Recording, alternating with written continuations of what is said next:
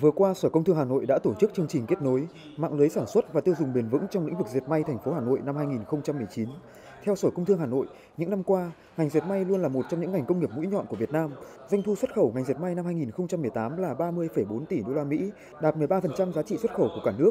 Tuy nhiên, ngành dệt may sử dụng nhiều tài nguyên nước, xả thải các chất gây ô nhiễm, sử dụng nhiều năng lượng. Vì vậy, phát triển ngành dệt may theo hướng chuyên môn hóa, hiện đại hóa, sử dụng hiệu quả nguồn tài nguyên, giảm phát thải, chất thải, bảo vệ môi trường là cách để doanh nghiệp dệt may tăng khả năng cạnh tranh trên thị trường trong nước và quốc tế.